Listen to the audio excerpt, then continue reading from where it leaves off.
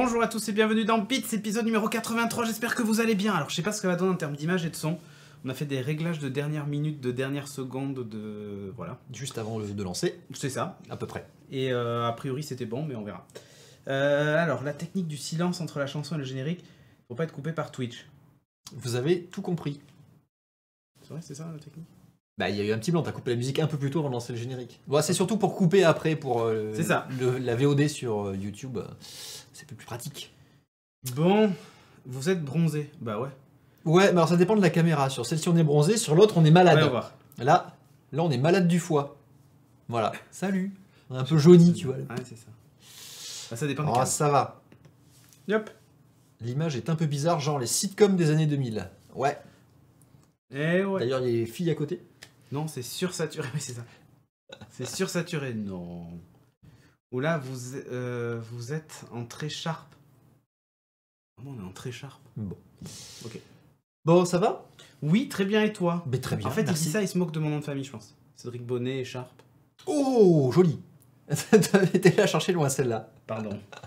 Euh, tu peux parler moins vite, s'il te plaît? D'accord, je Batix, je vais parler moins vite. Oui. Alors que revoilà la sous-préfète. Exactement. Bon, Cédric, Cédric, Cédric, question, c'est quoi ces gifs? Pourquoi, pourquoi, pourquoi? Ah, Minotaur. Euh, sois là euh, vendredi pour What the Fox. Alors, sur ce, donc, on a euh, pas mal de sujets. et on a l'émission qui est coupée en deux. En partie 2, on va parler de, de Facebook. Et de sa conf Fate. Mm. Mm. Voilà, puisqu'il y a eu la conférence Fate des développeurs, hein, surtout pour les développeurs, mais il y a eu pas mal d'annonces produits chez, euh, chez Facebook, donc on fera un petit, euh, un petit tir groupé sur toutes ces annonces-là. Et voilà, Eh oui. Et en première la partie- team bleu. team bleu. Ouais, t-shirt c'est bleu. bleu. Ouais. ouais. Bah ouais, jean bleu. Tout est bleu. Quel but? Euh, non, noir. Bref. Sur ce, sur ce. Donc, euh, première news peut-être? Allez, on y va, c'est parti. Ouais. Go la Drone Racing League, la DRL qui arrive en France. Ouais, c'est ça, surtout ça. Wouhou Parce que c'est pas tout nouveau la Drone Racing Ah. League. J'ai le son activé. Oh là là. Je reçois un message de Sophie qui me dit j'ai plus accès à mon NAS. Ah, qu'est-ce que je dois Dépannage faire en direct. Bon, non, je vais pas la dépanner maintenant, je l'appellerai demain pour voir ce qui se passe. La Drone Racing League, donc qu'est-ce que c'est? C'est une compétition euh, professionnelle de courses de drone. Alors vous savez, c'est les courses de drone Je en, te laisse F- parler, je vais un truc sur le son quand même. en FPV, donc en first person view, avec des petites lunettes là qu'on met sur les yeux et on pilote comme euh, la vue intérieure du drone. Donc c'est des trucs qui vont super vite, hein, euh, ça tape dans les 150 km/h à peu près. Et euh, ça fait du 0 à 100 en quelques secondes, voilà, des tout petits drones. Donc il y a une étape en fait qui va être proposée en France le 16 juin de cette année. Et ça c'est tout nouveau puisque jusqu'à présent il n'y avait pas d'étape en France. Pourtant, il y a un coureur français qui a déjà gagné pas mal le Ah, il championnat. court pas beaucoup, hein. Pas, pas beaucoup, mais il, Il court, il court sur un drone. Voilà, qui est ce jeune homme-là qui s'appelle Duncan euh, Bossion, pardon. Euh, alors lui, quand même, malgré tout, c'est le seul Français engagé, mais il est juste champion du monde 2016 Voilà, c'est ça. et champion de France Lui, il a 2017. dit j'arrive, je gagne. Donc c'est pas un nain quand même, hein, voilà. Donc là, on l'avait vu avec une petite course en privé, et ça, c'est avec son équipement, voilà, une petite lunette euh, qui vont bien FPV, le petit drone de compétition qui va avec. C'est minuscule, Duncan. ça va tellement vite. C'est ça, ça va hyper vite et c'est tout petit. Euh, donc l'étape le 16 juin, ça se tiendra au stade Alliance Riviera, donc c'est le football club de l'OGC Nice, évidemment. Euh, cinquième du championnat de Ligue 1, rien à voir, on s'en fout. Euh, alors pourquoi l'Alliance Oui, Riviera mais c'est Nice. Ouais, voilà. Euh, L'Alliance Riviera, pourquoi? Parce qu'en fait, Alliance, donc la compagnie d'assurance, est sponsor de la, De la Ligue Ligue. Voilà. drone. Voilà, évidemment. hein. Euh, voilà, pour l'info, ça va être pour info, ça va être retransmis par le groupe AB. Vous savez les chaînes euh, AB, justement, on en parlait comme juste avant. Voilà, AB Motors. hein. et euh, donc ça sera sur AB1, voilà, retransmis directement là-bas. Ça promet, euh, sachant que du coup, lui, il est ultra hyper motivé, notre ami Duncan, puisqu'il sera euh, à domicile quasiment. Donc il va tout faire pour euh, être encore plus rapide, encore plus pulvériser tout le monde. Voilà. Ça, ça m'intéresse, tu vois. Parce que ça commence à prendre un peu d'ampleur. Toi, tu lis Ah bah oui, moi. Ouais, non, mais je lis ça. Non, ça. mais moi, le- j'ai une déception quand même vis-à-vis de la Drone Racing Link. J'avais suivi ça au tout début. Ouais. Ils nous promettaient des courses sur Twitch, machin. Ils ont une chaîne Twitch. Crois qu'elle est un peu à l'abandon d'ailleurs maintenant. Des, des, des lives aussi sur, euh, Facebook, enfin, sur euh, YouTube. Et en fait, ce sont des émissions montées qui ensuite sont diffusées en live. C'est ça. C'est pas vraiment du live. Et c'est monté un peu, enfin en tout cas les premières, les premières courses étaient montées très façon ré- télé-réalité, avec des briefs dans une espèce de, de salle, euh, enfin bon, Entrecoupé avec des. ouais, avec ouais. des, ma- des magnétos, des trucs, c'était pas, c'était pas ouf quoi. C'est un peu la crainte que je vais avoir sur euh, AB, parce qu'ils parlent de retransmission, ils n'ont pas parlé de live. Hmm. Tu vois, où donc, euh, tu sens un peu la rediffusion, le truc monté également. Donc Oui. c'est pas hyper clair, et puis bon, voilà. Mais ça commence à prendre de l'ampleur, commence à avoir des, des- des- des prix intéressants, et on a un Français qui est quand même plutôt bien placé Qui est bien là-dedans. classé, donc il y a moyen que voilà. il y a moyen que ça prenne de l'ampleur, en tout cas, euh, en tout cas en France. Voilà. J'aurais bien essayé quand même, moi, le, Les FPV, t'as jamais Ouais, essayé un drone FPV. Non, j'avais essayé bah, Stéphane Aliaré Ouais. qui a fait tester, mais vite fait, mais c'est pas un, Non, pas un- FPV qui bombarde au taquet quand même. Ouais, c'est ça. La grosse différence, c'est que ça va pas aussi vite. Et ce bonhomme-là, il avait euh, commencé par faire du modélisme en fait. Il faisait de- des hélicoptères télécommandés avant. Il est assez jeune. Ouais, ouais. ouais. Il est passé après sur l'FPV et puis voilà, il a appris ça. Bref. Ah là là. Rien que ça. Le mec, il était pilote de, de drone, de, enfin de modélisme. Allez, on va passer Ah. téléphone un peu. Le Nokia X qui fut. Sera-t-il le Christophone Ah, je vous le dirai à la fin. Alors, il, il a commencé à pas mal fuiter. On va vous montrer des petites images. Euh, voilà, donc un grand écran avec un notch, évidemment, une petite encoche. Euh, le lancement, donc HMD, qui est le constructeur euh, sous licence Nokia, va euh, annoncer tout ça le 16 mai, en Ouais. même temps que le OnePlus, Que le OnePlus. 6, évidemment. Voilà. Euh, je vous montre le dos avec les deux appareils. Tout en photo. vert. Et voilà, bien brillant, là, bien glossy, qui va bien prendre les traces de doigts. C'est un détail. Le, alors, il y a des rumeurs sur le nom définitif hein, qui serait plutôt le Nokia X6. Voilà. Alors, Comme- X, 6 comme, euh, comme la BM. OnePlus 6, et, ouais, comme la BM. Et X comme l'iPhone. Comme c'est un mix des Ouais, c'est un peu ça. c'est exactement ça. Le bien. OnePlus X6. Euh, donc une encoche, un écran 19, euh, un écran 19 neuvième pardon, et 5,8 pouces. Par contre, le CPU dedans, enfin le Ah oui, SoC, Mediatek, un ouais. Snapdragon 660, Mm. ouais, ou un Mediatek Helio P60. Ouais, donc c'est un peu bof moyen. Et un Android Oreo, évidemment, puisque là, c'est la norme pour sortir actuellement avec du Android One, enfin quasiment du stock dessus. Bon, et, ce sera euh, pas le tien, c'est bon, on a compris. Ce sera pas le mien. Non, Voilà. je passe mon tour pour celui-là. Snapdragon 660, vous avez compris. Ah, c'est un peu, le- c'est un peu léger, ouais, je pense. Et euh, bon, après, j'attends de voir. hein, Peut-être qu'au niveau des tests et de l'intégration, ça sera top et ça sera suffisant. J'ai des doutes. Ils Voilà. ont fait cette- Mais pourquoi ils ont fait ce choix d'ailleurs?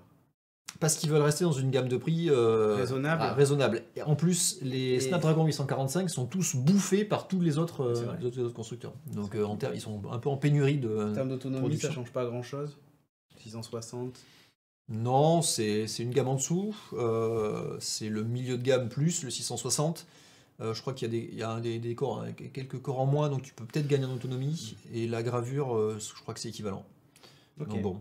400 euros, ouais, c'est ça, c'est à peu près le, le tarif annoncé dans les, dans les 380 et quelques, enfin à peu près par là, donc c'est du milieu de gamme plus. C'est l'équivalent des tarifs qu'on avait sur les Nexus à l'époque en fait, hein, et c'est clairement là que se positionne Nokia. Milieu de gamme. Un bon milieu de gamme, voilà. On verra parmi euh, les autres, sachant que le OnePlus 6, il va plutôt se placer dans du, dans Ah du haut de gamme. hein. tape, oui, voilà. Il va taper plus haut. C'est le, enfin, euh, OnePlus, c'est toujours les flagship killers, comme ils disent. Ouais. Donc, euh, en gros, on fait du haut de gamme pas cher pour, euh, pour défoncer, euh, pour défoncer les Samsung et autres sur leur, sur leur haut de gamme. Bon, voilà. C'est ça. Moi, je l'attends tournant quand même. hein. Celui-là, OnePlus 6, c'est un bon prétendant pour Ouais. mon remplaçant. Ah, Une petite news Apple? Ouais. Allez. Ah, je, je l'ai dans mon sac, j'aurais pu Ah, la c'est mettre. con, pu bah, la- si, je vais la chercher. Allez, va je vais la chercher ça à côté. Et voilà, donc Apple a annoncé la fin de la vie de la mort de Airport, des Airports, pardon, des Airports extrêmes et des 10 capsules. Voilà. Alors, du coup, plus personne n'aura de Wi-Fi. Voilà, le Wi-Fi s'arrête, vous allez tous mourir et Internet euh, s'éteint. Voilà, Voilà. tout à fait, c'est ça. Alors, c'est pas vraiment, en fait, c'est pas vraiment ça. Apple a annoncé, waouh, C'est magnifique. pas une Apple TV. Apple a annoncé euh, arrêter la production de tous ces euh, appareils de type routeur. Voilà, c'est ça. Donc, ils vont pas en produire de nouveaux. Il y a un disque de 2 Tera dedans quand même. Ils vont pas en produire de nouveaux. En même temps, ils n'avaient pas sorti de nouveaux matos depuis Faisons de la 2013. pub pour Apple. Il n'y avait pas eu de révision de, de- du matos depuis 2013. Et le dernier ajout, c'était le Wi-Fi AC, donc les- Ouais. les- le double band des 2 Go, 4, 5 Go sur, euh, bah, sur l'ensemble de la gamme. Voilà. Bon, pas grand chose. Il faut savoir quand même qu'ils ont loupé le coche. euh, ils sont devenus relativement Et pas obsolètes. l'encoche. Hein. Ouais, pas long coche. Ils ont loupé le coche. Et la vague des, euh, de toutes les euh, nouvelles, euh, de tous les nouveaux devices comme ça qui sont en base de Wi-Fi mesh et qui du coup font du, du maillage Wi-Fi au sein des maisons. Chaussette Cindy dit Rip petit ange, parti trop tôt. Et oui. Voilà, donc il y a pas mal de gens qui sont encore friands de ce genre d'appareil-là, notamment Mm. pour, par rapport à l'écosystème Apple. Ça va continuer à fonctionner, ne vous inquiétez pas. Oui, Apple oui. a dit, bah, on arrête la production pour l'instant. À l'américaine, tranquillement, ils ont juste dit, on n'exclut pas la possibilité qu'un jour, on reviendra sur le marché du Ouais, business, du routeur machin. Ça veut clairement dire que pff, vous oubliez pour l'instant. Voilà. Et oui. Et en concurrence, vous avez ben, les Google Wi-Fi. Alors ça, c'est marrant parce que tu vois, Apple se retire des routeurs et Google, Google, et Google y arrive. voilà. Voilà, moi j'ai vu ça, euh, c'est assez marrant. Euh, Il y a les Linksys Velop et les euh, Netgear Orbi qui font du coup maintenant le haut de gamme en termes de réseau Wi-Fi à la maison. Balance ton domestique. AirPort. Balance ton AirPort. Ouais, c'est ça. Euh, tiens, j'en profite puisque je vois que Chaussette Cindy et Amazon Prime mais n'est pas sub à la chaîne. Si vous êtes euh, Amazon Prime, vous pouvez sub à la chaîne euh, gratuitement, puisque c'est compris dans votre abonnement Amazon Prime, et ainsi accéder au Slack de, de Studio Renegade, Voilà. voilà, qui vous permet de discuter entre nous. autres des sujets et tout ça. Donc n'hésitez pas, on fera des piqûres de rappel de temps en temps. Qu'est-ce que ça fait de mieux qu'un routeur classique Alors, euh, là, c'est une différence, c'est une time capsule. Donc, dedans, il y a un disque euh, de 2 Tera euh, qui est ça sert partageable à sur le rien de le vendre, ça sert à rien. Non, non, mais Tu il me demande la différence par rapport à un routeur classique. Là, c'est un disque de 2 Tera qui est partageable sur le réseau. Merci, Toufik, pour les euh, 120 bits. Merci. Et qui est partageable donc sur le réseau, qui, sur lequel vous pouvez déposer des fichiers, tout ça, et surtout qui est compatible avec euh, Time Machine, le système de sauvegarde maison, euh, et donc euh, permet de faire des sauvegardes de ces Mac euh, sur, euh, sur l'appareil. Euh, Il y a un port WAN, euh, donc euh, du coup, euh, si vous avez un routeur que vous pouvez passer, enfin un routeur, un, modem, box internet une box que vous pouvez passer en bridge, ben, vous pouvez la piloter avec. Moi, c'est ce que je faisais. Euh, Il y a un port USB derrière sur lequel vous pouvez brancher une imprimante ou du stockage. Enfin, c'est un truc classique maintenant qu'on retrouve sur des routeurs, euh, C'est ça. Routeurs classiques, c'est tout. quoi. Voilà. L'intérêt, c'était que c'était facile à configurer. Vous aviez une app sur téléphone et tablette qui, de vous permettait de configurer tout ça. En fait, avant même que Google ait fait la même chose avec Google Bah, Wi-Fi. Tous maintenant l'ont fait, mais effectivement. Mais avant ça, que ça tout le date monde de- le sorte. Depuis hyper longtemps. Honnêtement, l'utilitaire AirPort sur les, sur les Mac, c'est depuis euh, la version pff, avant Tiger. Donc imaginez-vous, euh, ça remonte à il y a 8-9 ans même. Ça existait, ils avaient déjà une app pour configurer ça quoi. Et dès que dès que, dès que l'iPhone là avant l'heure, tard. là, bah, il y avait l'utilitaire et tout pareil quoi. Tout pareil. Ouais, comme la Livebox Orange, on nous dit, ouais, c'est ça. Disque Le bon troll. Oh là là là là là là là. C'est ça. Ah là là. Bon, voilà. C'est plus disponible à la vente. Un Fonger qui demande hors sujet. Vous avez acheté où votre casque d'Iron Man et votre bouclier de Captain America? Alors le casque d'Iron Man, je l'ai acheté il y a pour la sortie du premier film Sur Sideshow Collectible. Euh, c'est une édition limitée à 1500 exemplaires. Il est tout en métal celui-là. Euh, après, tu as des versions de chez Hasbro qui sont en plastoc. J'en ai une chez moi d'ailleurs. Oui, oui, ça Euh, rappelle. qui sont sympas. Le bouclier a été fait sur mesure en fibre de verre, machin et tout ça, et moulé. Donc tu le trouveras pas. Mais par contre, Hasbro aussi a fait une édition En plastoc aussi. en plastique, euh, donc tu peux le commander. Le marteau de Thor qui est derrière moi, pareil, existe aussi chez Hasbro euh, si tu le veux. Mais celui-là, c'est un moulé sur place, il est, il est unique. Donc euh, Moulé sur place. voilà, il est unique. Comme le bouclier, les deux ça. sont uniques là. Alors ça va être remplacé par quoi? On nous dit ben, par rien, sachant qu'il y a des propositions de solutions Ouais. dans d'autres, par d'autres constructeurs, autant pour le routeur, hein, on en parlait, que pour le système Time Capsule, puisque maintenant la plupart des NAS proposent d'être, enfin, sont Oui, c'est ça, compatibles, sont avec, compatibles euh, avec Time Machine. Donc tu peux faire tes backups sur un NAS. Pour Voilà, il avait NAS. appelé Time Capsule euh, pour faire un peu le. Bah oui, bah, comme Le une vraie Time. Capsule. Voilà, mais. Parce que tu pouvais naviguer dans le temps de l'historique de tes sauvegardes, tout ça. exactement ça. Voilà. En gros, ils avaient fait un routeur avec un disque dur qui permettait les sauvegardes de ces Mac en local. C'était ça l'intérêt de, de Time Capsule. Quoi. Et la config par l'appli. Et la euh, config par l'appli, là, clairement avant l'heure, c'est clair. Mm. Tout à fait. Ah, la news de Cédric. Eh Tiens, je te oui. la balance. Allez, WeSings racheté par WeSings. Bon, on en parlera aussi demain dans Sings. Beaucoup de Sings. Euh, ouais, alors Nokia les avait rachetés en 2016 pour 170 millions d'euros. Et ben Ok, figurez-vous que euh, Eric Harrell, donc un des deux cofondateurs, c'était euh, l'autre c'était Cédric Hutchinson ou un truc comme ça? Non, euh, Hutch- je sais plus, Cédric quelque chose. Euh, qui était euh, voilà, qui était aussi un des deux cofondateurs de, de WeSings. Eh ben, Eric Harrell, donc un des deux, co- des deux cofondateurs, a. Ou peut-être le Cédric, c'est chez Netatmo, je sais plus. Hutchin, je sais plus, bref. Euh, en tout cas, Eric Harrell donc, a racheté euh, WeSings, et ça, c'est un peu la classe. Cédric Hutchings. t'as raison. Cédric Hutchings, Ouais. c'est ça. T'as vu, je. je Pas mal, t'étais pas loin. Hutchinson, Ouais. c'est des pneus. Non, c'est les pneus, oui. Mais il avait un- ça m'a fait penser à ça, et du coup j'ai gardé ce moyen mémotechnique m'en souvenir, et j'ai fait un mix des deux. Cédric Hutchings, Hutchings, voilà, c'est ça. Voilà. Euh, et donc Eric Carrel qui euh, rachète le. c'est trop ça, oui. Qui rachète du coup WeSings. Alors on connaît pas le montant, par contre. Tout ce qu'on sait, c'est que l'année dernière, WeSings a rapporté à Nokia euh, 52 millions d'euros. Ils ont acheté 170 en 2016. La première année complète d'exercice, Pas 52. mal. Pas mal. Perte sèche, 120 millions d'euros. Mais non, il a rapporté 50 millions. Ouais, non mais... Ils l'ont pas amorti, c'est ça que tu veux dire. Oui, ils n'ont pas du tout amorti du tout le rachat. Pour l'instant, c'est pas de la perte. Mais ça dépend combien ils le vendent. Voilà, S'ils le revendent plus de 120 millions, ils sont dans leur, euh, Ils dans sont leur mais Voilà. on verra bien. Enfin, en tout cas, voilà, c'est.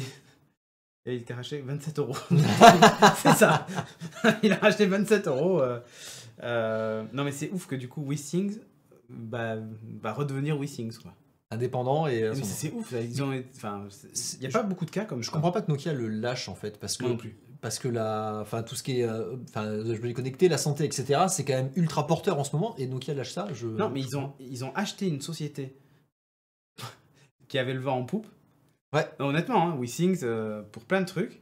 Et qui maintenant se retrouve euh, déjà en vente alors que euh, bah, ils n'ont pas eu le temps de faire leurs preuves finalement. Après ils ont changé de direction. moi, moi, j'ai un peu Nokia. l'impression surtout qu'il n'y a pas eu vraiment de nouveaux produits lancés sous l'ère Nokia. C'est vrai. Euh, Il y a eu la- peut-être la Style HD et encore je crois qu'elle existait sous l'ère WeSings. Mais euh, le rebranding a été assez récent sur tous les produits et euh, ça n'a pas beaucoup évolué. Par contre l'appli a bien évolué dans le mauvais sens. Voilà. J'ai un pèse personne, WeSings et tous les matins il me donne la météo et ça c'est trop classe. Tout à fait Ayate euh, Musashi. Moi aussi j'en ai une et il donne la météo. Non, mais c'est pas une blague. Super. Et quand c'est ton anniversaire, il te dit joyeux anniversaire aussi. Ah bah c'est cool. Je suis il faut vous peser le jour de votre anniversaire. c'est juste ça quoi. Il faut se poser tous les matins pour avoir la météo. C'est ça. Alors que tu peux la voir dans la matinale euh, Morning Glory. Avec Exactement. Hugues, franchement. Ça, ça Tous les matins, tous les 8 pèse à personnes du monde. Il y a le truc avec le sommeil pour Nokia. Non, mais c'était déjà avant le WeSings Aura euh, qui te réveille. Mais toi- oui, tout ce qui est dans la gamme Nokia actuellement était Était déjà, déjà dans existant. Avant, ouais, tout à fait. Il n'y a pas eu de choses nouvelles, donc du coup c'est un peu, euh, c'est un peu, un peu chelou le, le truc, mais bon voilà. Mais peut-être que ça met du temps en fait. Joyeux anniversaire, gros sac. c'est exactement ça. Après, peut-être que ça met du temps à produire des- Aujourd'hui, tu n'auras pas de part de gâteau. des, produits comme ça. Euh, et euh, si ça se trouve, tu sais, juste après le rachat, ils vont paf euh, tout sortir les nouveaux produits qui étaient dans, dans, les, euh, dans les tuyaux. hein, mais euh, Ah, mais complètement.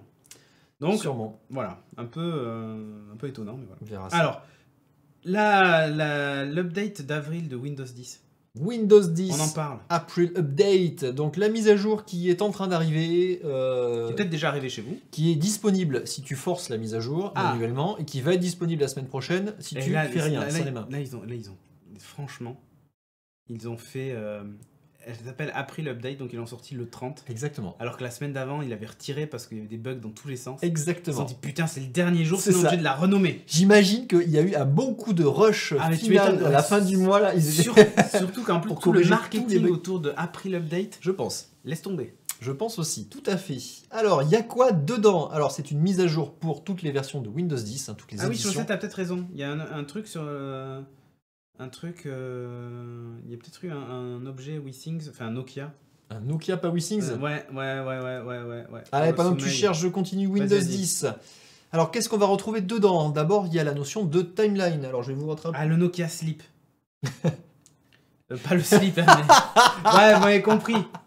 La façon dont tu dis le C'est ça, Nokia regarde. slip. Et le Nokia caleçon. Regarde, regarde, regarde. Ah ouais, Tu vois? Ah, c'est un super slip, ouais. Et scénario domotique, s'il te plaît. hein. IFTTT, quand tu te réveilles, il peut te faire couler ton café. Voilà. Voilà. Le cas d'usage pour Cédric, c'est parfait, ils ont tout compris. Le Nokia slip, mort de rire. c'est exactement ça. La timeline dans Windows 10, c'est ça. C'est beau, c'est magnifique. Alors, c'est quoi? C'est une. euh, Bah, c'est time capsule. C'est une frise chronologique. C'est ça, c'est une frise chronologique des activités que vous avez faites sur vos devices Windows 10. Donc c'est relié à votre compte euh, Windows Microsoft, votre compte Windows Live si vous en avez un. Donc ça historise les applications que vous avez utilisées et au sein de ces applications les documents ou euh, les pages que vous avez euh, visitées. Vous avez à droite en fait une frise de temps et vous pouvez du coup remonter le temps et du coup re-appeler une Ça ressemble exactement à Time Machine. c'est ça, mais au lieu de que ce soit un backup, c'est l'activité des applications Ouais. que tu as faites en fait. Voilà, donc c'est pas l'état de tes données, c'est l'état de ton activité. Donc tu peux dire, bah, euh, c'est, euh, tu commences à faire quelque chose sur euh, ton PC et tu poursuis sur un autre PC, un portable, un- tu as un fixe et un portable, et du coup tu poursuis ton activité, tu reprends en fait tout ce que tu avais ouvert et dans la continuité, tu rouvres les documents, etc. Ils sont synchronisés sur OneDrive et tout Mm. ça. Enfin voilà, il faut avoir l'écosystème Windows quand même complet, mais ça permet d'avoir une continuité en fait de l'expérience qui est plutôt pas mal. Si tu as qu'un seul device, ça permet de retrouver ton historique. Genre, tu éteins ton PC le soir, le matin, tu veux reprendre là où tu en étais, ben, tu reprends ta time- timeline et tu la euh, récupères. Et voilà. C'est pas mal. Moi, j'attends de voir à l'usage parce que c'est prometteur. Enfin, je trouve ça intéressant comme, euh, comme usage. J'attends de le voir tu pour l'as voir eu si je m'en. Tu l'as pas téléchargé toi? Non, alors non, parce que j'ai besoin de mon PC, donc j'avais pas envie de, que ça foire quelques trucs, donc euh, j'ai pas forcé la mise à jour. Voilà. Jusqu'à présent, j'avais euh, poussé, voire utilisé les, euh, les insiders, les versions euh, bêta des Windows 10. J'ai un peu arrêté là dernièrement, donc j'attends tranquillement qu'elle arrive. Ouais, voilà. Donc l'intérêt cross-device. Voilà. L'autre fonction qui arrive également, le Focus Assist.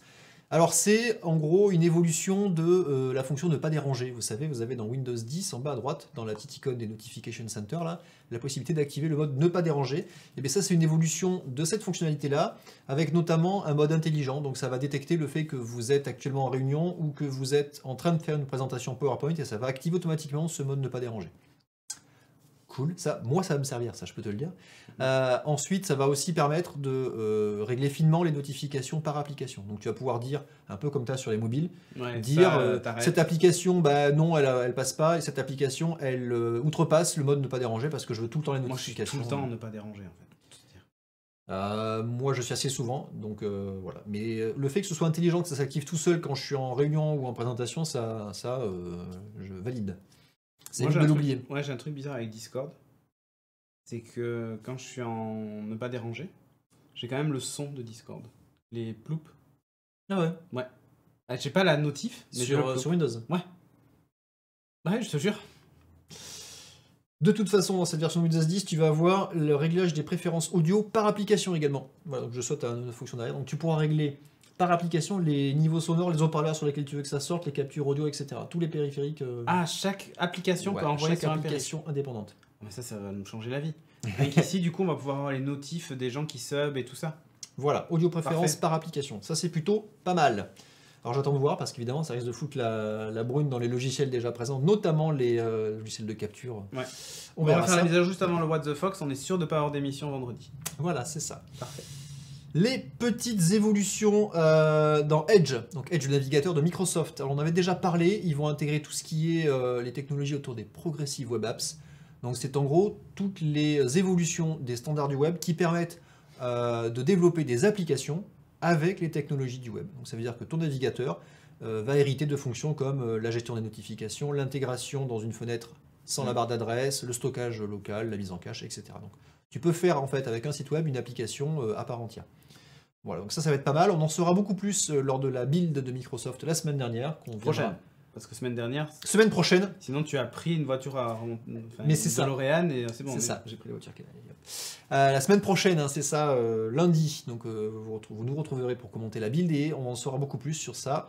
Euh, les Progressive Web Apps, ça, j'en parle plusieurs fois, mais euh, c'est vraiment la techno qui, euh, qui pousse énormément en ce moment et qui permet de développer des vraies applications, autant mobiles que desktop, avec les technos du web. Donc ça, c'est cool. L'exemple le plus parlant, et euh, c'est notre euh, La- cher Nico Poppy qui Ouais. pourra en parler aussi, c'est l'application Twitter pour Windows Ouais. 10 qui a euh, été entièrement refaite sur ces technologies-là. Moi je l'utilise et l'icône a disparu. Ah Suite ouais à la mise à jour. Il a fallu que j'enlève l'icône, tu sais, que je l'avais dans ma barre en bas. Ouais. Il faut que je l'enlève et que je la remette du coup parce que l'icône avait sauté. C'est au un passage. refresh de, de- Ouais. du cache d'icône qui devait pas être bon, ouais, c'est ça. Et donc ils permettent de faire quand même des trucs pas mal avec ça. Voilà, Ouais, il nous dit bien que c'est le top, tout à fait. Mm. Euh, le voice control, donc ils ont repoussé un petit peu tout ce qui est euh, repoussé, remis en avant plutôt le, toutes les fonctions de, de dictée vocale et d'interaction à la voix avec euh, le Ah, j'ai découvert d'ailleurs qu'il existait un système de sous-titrage automatique dans OBS. Il utilise un moteur de reconnaissance de, de, De Windows. de Windows. Pour ça. Ouais, après, il faut voir le résultat que- qui est produit. J'ai pas réussi à le faire fonctionner. Mais j'ai vu qu'il y avait écrit expérimental. Ouais, voilà. YouTube après le fait pas mal aussi en, en closed caption derrière. Euh, alors après les plus petites fonctions, mais un truc quand même intéressant, il y a des euh, fixes, donc des corrections pour les applications qui étaient floues. Alors, les applications qui étaient floues, c'est en fait c'est les effets de mise à l'échelle. Maintenant qu'on a de plus en plus d'applications, euh, pardon, d'écran euh, HD, 4K, 8K, etc., mais il y avait des applications qui étaient développées avec d'anciennes versions des outils de développement, Microsoft, qui n'étaient pas mises à l'échelle sur les écrans 4K, ou pas très bien, pas très joli, pas très net, et bien ils ont rajouté des fonctions pour fixer un petit peu ça. Ouais. J'en parle parce que c'est encore relativement courant, c'est-à-dire qu'il y a quand même pas mal d'applications. J'ai un écran 4K sur ça, et je jongle en fait des écrans externes qui sont pas 4K, et quand tu as un mix de tout ça, tu as des applications qui font n'importe quoi. La mise à l'échelle, ça fait n'importe quoi. Euh, parce que euh, les applications n'ont pas évolué, et puis t'as pas trop le choix, ou parce qu'elles veulent pas évoluer, qu'elles restent sur leur, leur techno, et des fois ça fait vraiment du caca. Et ça, j'espère que ça va corriger un petit peu tout euh, ce fonctionnement-là. Voilà. Qu'est-ce qu'on a d'autre en petite fonction? On a le Quick Bluetooth Pairing, donc l'association rapide par Bluetooth, on en avait parlé. Donc là, Ouais. découverte automatique et l'appairage pour peu que le périphérique soit Microsoft Certified. Alors ça va, ça j'ai hâte de tester parce que ma manette Xbox One Bluetooth ne se connecte plus. Alors que je l'avais, j'avais réussi à la connecter une première fois, mais j'avais Ouais. galéré. Ouais. Et euh, là, je vais retester Ouais. si elle arrive à se reconnecter ou pas. Attention. Et après, t'appelles Satya Et après, si, non, euh, je fais un tweet en disant niquez-vous c'est bien. de la merde. Microsoft, votre truc pour pairer euh, les périphériques Bluetooth rapides, c'est bien. Il faudrait que ça marche avec euh, vos manettes. Juste Windows sur un Retina display, tu pleures. Ah ouais? Non, enfin là, en fait, ça marche très bien quand j'ai qu'un seul écran en 4K. Pour peu que tu as plusieurs écrans et que tu navigues entre les deux, les applications, elles sont. Ça devient le bordel. Ça devient n'importe quoi. Euh, ça, c'était pour la- l'aspect dictée vocale. hein, voilà. Donc, c'est intégré au système et aux applications directement. Donc, tu peux dicter euh, un URL directement dans la barre d'adresse, Ouais. par exemple. Tu vois, voilà, intégré un peu partout donc euh, dans le système. Alors, Nico Popi qui dit oui, c'est nimp la manette Xbox, c'est galère de passer de Xbox One à Windows 10. Mais attends, mais moi, elle est même pas passée sur Xbox One. Je l'ai acheté pour le PC. Tu sais, ils te font un bundle avec Ouais, un dongle et vrai. tout ça, machin. Bon, j'ai pas utilisé le, le- le dongle puisque elle est Bluetooth et elle doit fonctionner sans. C'est parti de cette génération de manettes qui peut fonctionner sans. Et ben, Ça fait les deux. ça marchait qu'une fois, quoi. Le dongle, en fait, c'est pas un dongle Bluetooth que achètes, c'est un dongle de Giga 4. Donc, si tu le branches avec le dongle, ça va mieux marcher. Mais elle peut gérer les deux fréquences. Tout elle peut fait. basculer en Bluetooth et 2 Giga 4. Mais je te conseille quand même 2 Giga 4. hein, C'est plus rapide. T'as moins de latence, t'as moins tout ça. hein. Ouais. Ça dépend à quoi tu veux jouer après. hein. Ouais, j'ai pas noté vraiment l'attente, tu sais, je suis pas un PGM moi. Ayate qui dit il est sympa en vrai Patrick Béja. Oui, ça va, il est sympa. Ouais, il est cool. Il sera peut-être là pour les confs du coup la semaine prochaine qu'on va commenter donc euh, bah, mais il sera si- pas là en vrai. Non, mais il sera là en Il sera là fenêtre en- dans Skype. En Skype. Euh, donc la mise à jour, on en parlait. Soit c'est en manuel. Je vais défendre Shag parce que Nico Popi il dit à Chaussette Cindy que Shag utilise Edge et les gens se moquent. Mais en fait, elle utilise Edge. Déjà, c'est moi qui lui ai dit d'utiliser. Mais à pas. Non, non. Mais, euh, mais c'est surtout qu'en fait, elle l'utilise pour une raison simple c'est que elle est connectée avec le compte Studio Renegade sur Twitch dans Edge. Et elle a son compte perso dans Chrome. Tu sais, pour éviter d'avoir à changer de mot de passe et machin. J'ai Comme on a pareil. la double tente. Comme on a, en plus, on a la double tente avec le jeton, machin et tout ça. Ce qu'on ça. n'a pas fini de configurer d'ailleurs. Oui, c'est vrai, c'est Euh, vrai. Donc euh, voilà, on est obligé de, on est obligé de faire comme ça. C'est pour ça qu'elle utilise Edge, mais sinon, elle l'utilise pas du tout. 4, 5, 6 navigateurs en bas. Voilà. Donc je jongle aussi pareil. Normal. Mais oui, euh, la mise à jour, donc c'est euh, soit manuel, euh, dès à présent, vous pouvez la télécharger sur euh, microsoft.com slash software download slash Windows 10. Voilà, ça c'est l'URL. Soit la diffusion générale qui sera entre le 8 et le 9 euh, mai. Donc c'est tout bientôt tout plein. Bah, Par le Windows. Update C'est le jour de la build. Ce sera le jour de la build. Tout à fait. Et voilà pour Windows 10. Enfin, c'est le 7 la build, le lendemain quoi. Oui, enfin, il annonce, tu sais, le, le jour même, il dit disponible dans la journée, ou dans la nuit, etc. Voilà, classique. Ah, Ah ah, On va parler de montres voilà. et de bras. On va parler de LumiWatch. LumiWatch, cette magnifique montre. Alors, ce sont des chercheurs de la Carnegie Mellon University, voilà, en Pennsylvanie, euh, qui ont euh, travaillé et qui ont créé un prototype de euh, montre avec projection sur le bras. Alors, je vous montre de suite à quoi ça ressemble. C'est ça. Donc, moi, ce qui me fait marrer, c'est que c'est une montre qui n'a pas d'écran. Donc, t'as rien dessus. Montre- vraiment à l'Apple Watch en plus. Ouais, mais je sais pas s'ils ont pas s'ils ont pas récupéré le châssis en fait. C'est Parce que tu vois sur d'autres images vraiment, tu vas voir le châssis c'est quand même troublant. Donc ils ont intégré dedans un projecteur qui projette sur l'avant-bras avec une interface dessus. Alors comment ça se passe? Il y a un système du coup de slide to unlock, c'est ce que tu vois là pour déverrouiller en fait l'interface de la montre euh, et éviter les, les interfaces, euh, les, les faux Ouais, ouais. clics en fait hein, sur ton bras. Voilà, il y a euh, un projecteur. Alors il y, a- il y a deux choses qui, euh, qui interviennent. Il y a un projecteur laser. Voilà, donc il y a, il y a trois lasers euh, pour trois couleurs, hein, le rouge, le vert et le bleu qui vont faire les interfaces en couleur, puisque tu as une interface couleur dessus, et en même temps un capteur de profondeur pour détecter où c'est que ton, ton doigt ta main, placé, ton doigt se situe, etc. Voilà. L'intérieur de l'appareil, c'est un peu ça. Tu vois le, le châssis là-haut, là, Ah ouais, ressemble ça ressemble beaucoup. Je pense qu'ils ont utilisé ça, donc ils ont intégré tout le hardware qui va avec. Voilà. Il y a une interface euh, tactile avec euh, des icônes hein, euh, qui apparaissent. Voilà. Ça marche en intérieur et en extérieur. Vu que c'est un projecteur laser, on a suffisamment de puissance pour avoir de la lumière, l'interface visible même en extérieur. Voilà. Il y a des petites animations également. Donc là, on vous montre un petit peu le voilà l'interface. Donc là, tu vois le slide to unlock. Hop. Et tu vois en même temps l'interaction avec l'écran. euh, et derrière, tu vois le, le- Ouais, je vois les interfaces de dev qui te montrent un petit peu comment ils capturent tout ça. C'est assez précis, je trouve. Les icônes, euh, ça, rend, ça rend pas mal. Et le gros intérêt de ça, c'est que tu as quand même une surface en projection qui est 5 fois plus grande qu'une smartwatch classique. Hein, puisque l'écran, du coup, il est beaucoup plus grand. Il y a, alors là, il y a pas mal de commentaires. Donc il y a euh, Z, ZX10R Passion. Facile. ZX10R Passion, très Ah, très bon nom ZX10R, ça. Oui. J'aime bien. Euh, qui dit super, mais euh, tout ce qui va se trouver après le doigt ne s'affiche pas, non, à moins d'en avoir une deuxième au coude. C'est vrai. Dès que tu poses ton doigt, forcément, on voit que l'interface disparaît. euh, Oui, bah, tu le vois là euh, sur, euh, sur cet écran-là, tu as un slide là pour en Ouais, là, supprimer le mail, voit. tu vois que ça cache quelque chose. C'est une très bonne remarque. Je sais pas si à l'usage, ce sera vraiment gênant en fait. Ouais. À voir. Alors c'est un prototype. Hein. Ouais, il y a mon article qui dit euh, tu... donc tu prends une brûlure avec la forme du slide à terme, enfin sur le bras. C'est un peu ça. Euh, on va pas tous avoir un cancer avec un laser machin. Faut pas avoir de chat. Ok, si t'es poilu, tout à fait. Épilation laser, nous dit Valguard. Exactement, c'est ça. Faut pas la mettre Euh, n'importe où. Il y a pas mal de commentaires aussi sur la news précédente, puisqu'il y a Grao qui dit apparemment il y a encore pas mal de problèmes avec la mise à jour de Windows 10, faites attention. Germine94 qui dit j'ai déjà eu l'update aussi, euh, via Windows Update, tout simplement. Ah Donc bon certains l'ont déjà eu. Impressionnant. T'es sûr? On verra ça. Moi, il me dit toujours pas. J'ai pas forcément. Il faut avoir des manches courtes. oui, ça c'est sûr. Ah, c'est pas faux. C'est une bonne remarque. Comment, Ah ça, bah, comment ouais. ça se passe sur les avis? L'hiver. Ouais. Donc la montre assez épaisse, hein, 50 mm, 41 mm et 17 mm. Euh, ça, fait une, ça fait la grosse Apple Watch quand même. hein. Ouais. Donc à voir. L'autonomie, alors pour rigoler un petit peu, ça reste un prototype. hein. Une heure en usage continu. Donc ça veut Mais dire au moins, tu comme tu dois la recharger tous les heures, une heure est passée. c'est ça, ça compte le temps. Ça compte le temps. Très bien. Tu la recharges 24 fois dans la journée, tu Alors, sais. C'est une heure si tu projettes tout le temps l'interface en continu, sachant que c'est pas le but. Le but c'est juste de la projeter quand tu as besoin d'interagir avec. Comme les, euh, les écrans que tu tournes, tu sais, mais comme l'Apple Watch où tu tournes et ça s'affiche que quand tu la regardes. En gros, c'est ça. Voilà, le coût estimé, hein, c'est euh, 600 dollars à peu près, sachant que c'est du prototype, hein, je le répète. Mm. Il y a, on n'est pas du tout sur du produit euh, Fini. euh. fini, euh, voilà, tout à fait, en chaîne de production. Mm. Voilà. Moi, je trouve ça intéressant comme nouvelle façon d'interagir quand même, en termes de notification et tout ça. Après, est-ce que ça va prendre? Non, c'est clair. Moi, j'aime bien avoir toujours, tu vois, l'écran visible, même si t'as pas euh, le. Oh. j'ai- J'aimais pas. Ouais, j'aime pas ça.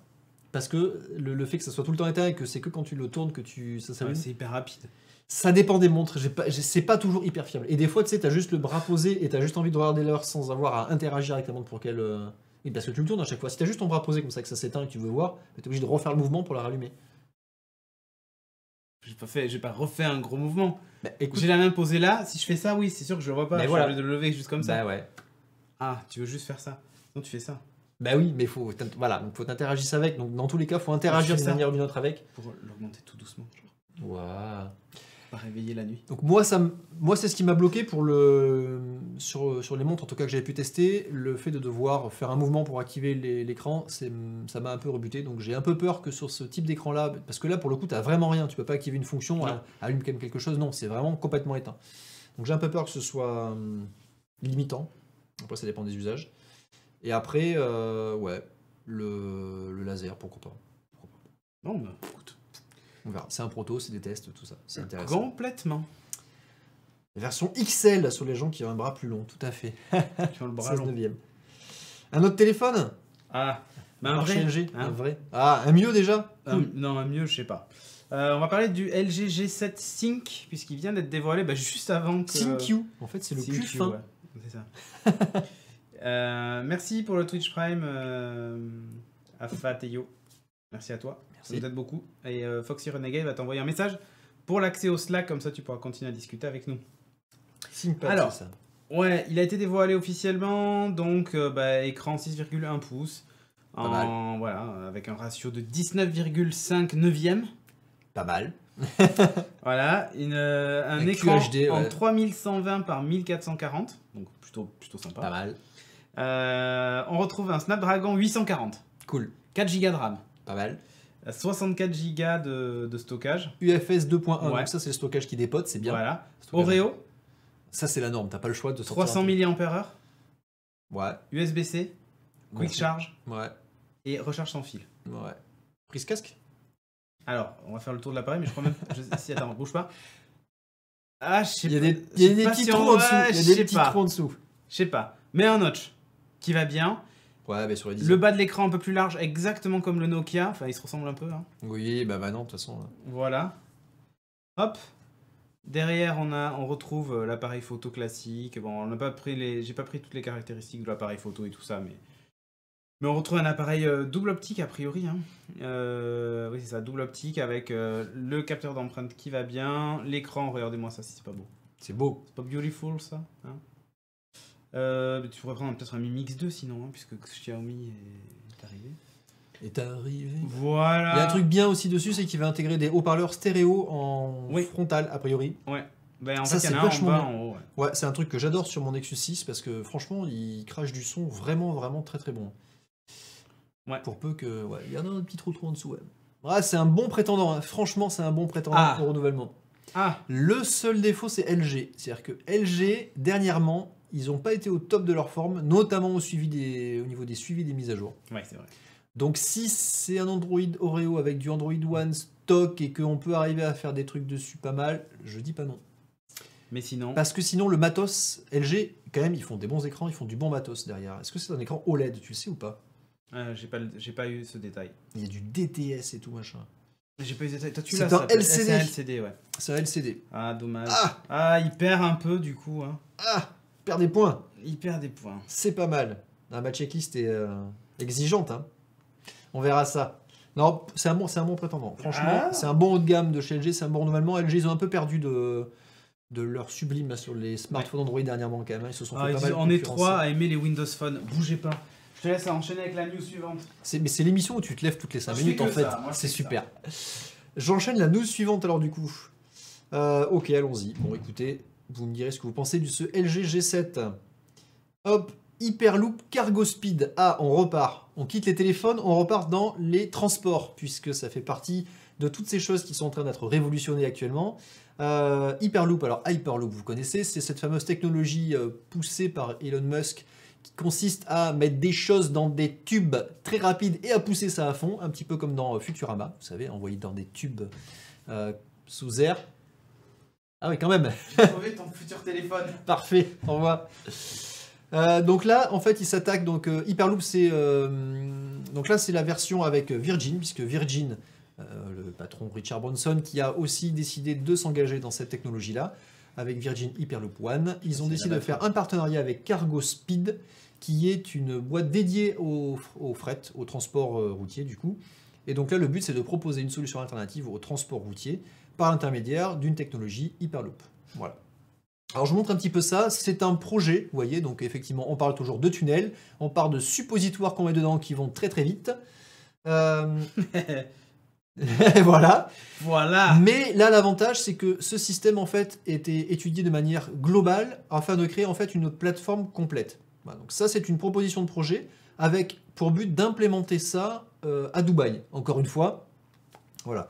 Donc le but c'est quoi? C'est d'acheminer des marchandises par voie terrestre en réduisant euh, tout ce qui est délai, euh, délai de transport, etc. au plus rapide. Le but ultime c'est d'arriver à livrer d'un bout à l'autre du monde en 48 heures. Voilà, ça c'est les objectifs qui s'annoncent, enfin on, on se la pète un peu. Euh, et alors, voilà, là où ils vont beaucoup plus loin, c'est qu'en fait ils parlent de créer des plateformes. Donc en fait c'est pas juste, bah, je mets un tuyau et puis je mets dans une capsule et puis je vais d'un bout à l'autre. multiprises en fait. Hein. Ils ont rien inventé. Hein. Là, ce qui est intéressant, c'est ce qu'il y a autour. Tu vois, c'est une station Ouais, ouais. en fait dans laquelle le truc s'arrête et ça va amener euh, jusqu'au dernier euh, kilomètre. Ça va livrer jusque dans ta boîte aux lettres, puisqu'en fait, ils imaginent que ce système-là, en plus de gérer du fret, peut gérer également des personnes. Donc, ils vont tout intégrer au sein du même euh, système de transport. Avec des stations comme ça, donc intégrées, tu vois, au plus près des ports. Donc, tu vas avoir les ports avec des stations comme ça, au sein de la ville également, mais aussi utiliser voilà, tout le toit qu'il y a dessus comme euh, piste pour euh, faire décoller, atterrir des drones. Donc c'est vraiment un écosystème pensé au global. Alors, c'est un projet, évidemment. C'est euh, Salut Sonic. C'est pas du tout encore implémenté, mais ce qui me plaît là-dedans, c'est que c'est quand même imaginé de manière globale. Donc on a tout le transport de bout en bout, avec un Hyperloop au milieu pour gérer les transports longue distance ultra rapides, avec des stations intermédiaires pour euh, ben, retirer ces colis, transporter ça par un autre moyen, là les drones ou les bateaux on a vu tout à l'heure, et également gérer dans un même, euh, dans un Ils même ont système de inventé la gare et les l'aéroport. personnes. Et mais c'est ça, ils ont inventé la gare et l'aéroport. Le C'est exactement. c'est tellement ça, Edredion. Ce nom est parfait. Le garéoport. C'est le garéoport. Je valide le nom. Voilà. Parfait. J'ai rien à rajouter. Voilà. Parfait. Bon, non, le- ce qui se cache derrière ça, c'est aussi qu'on a une explosion, hein, parce que Cargo Speed, derrière, c'est un peu leur business de gérer tout ce système de transport. Ils euh, estiment que l'explosion du e-commerce actuel fait que euh, dans les, pour le dans les 10 à 20 prochaines années, il y aura une explosion encore plus grande qui feront que les, les réseaux actuels ne seront pas du tout adaptés à transporter tous les colis et à livrer tous les, tous les colis Amazon, en fait, c'est ça ça va Exactement. pas suffire, donc il faut trouver d'autres alternatives. Et ça, c'est une proposition derrière. Voilà.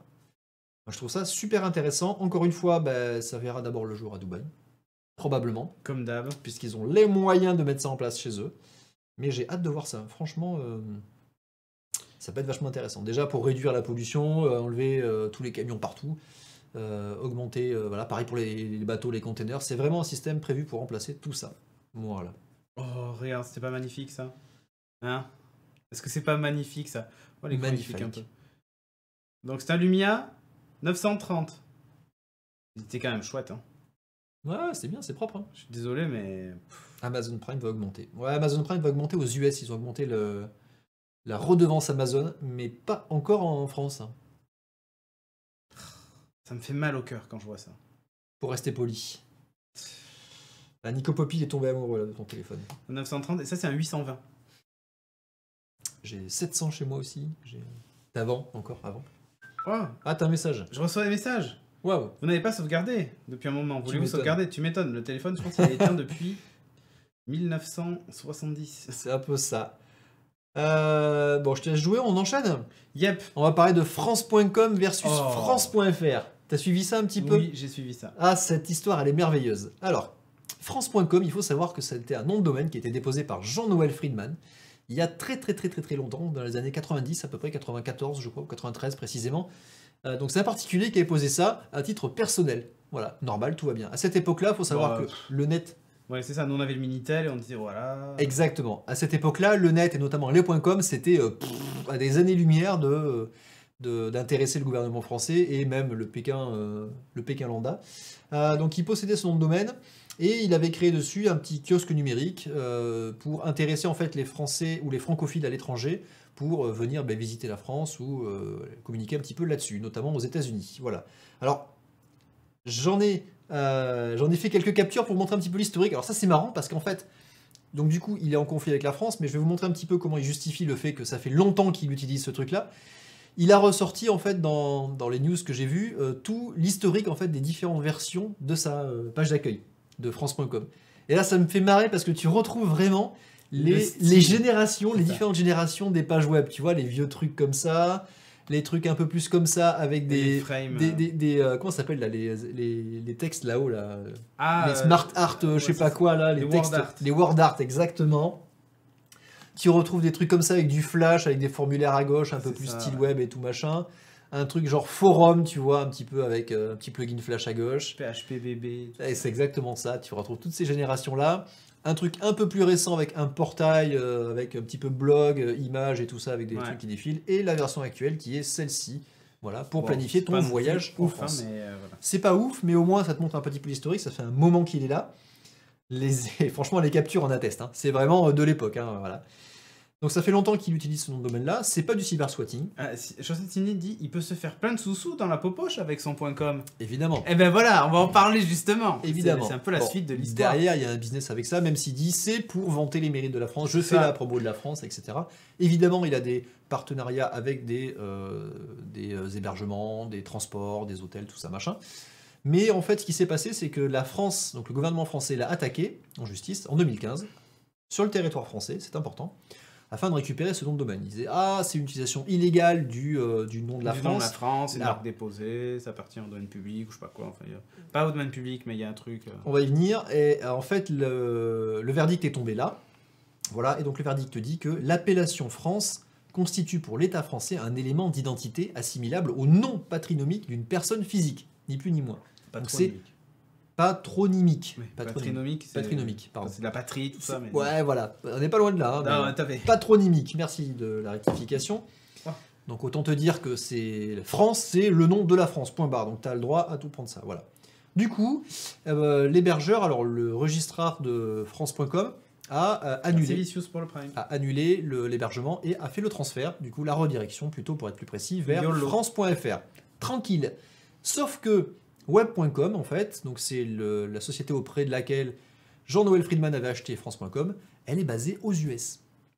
Et la décision de justice française n'a rien à faire là-bas sur le sol US. Donc en fait, valeur. ouais. web.com, aucune valeur. Euh, ils ont pris sur eux de faire ce transfert-là, mais ils n'ont aucune obligation. Donc là, petite contre-attaque en disant bah non, je suis pas d'accord. Donc il les réattaque dans l'autre sens pour dire je vais récupérer mon nom de domaine. Et on est reparti pour un tour.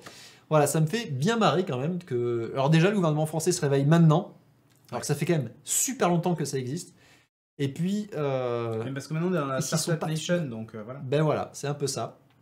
Donc euh, je pense qu'ils y perdent maintenant effectivement parce qu'ils veulent faire la promo de la France, notamment avec la Startup Nation Ouah, il faut... à l'étranger, mais bon.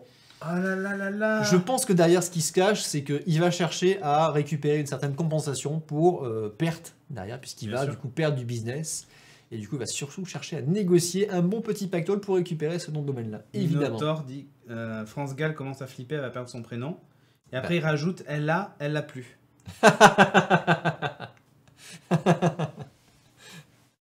voilà.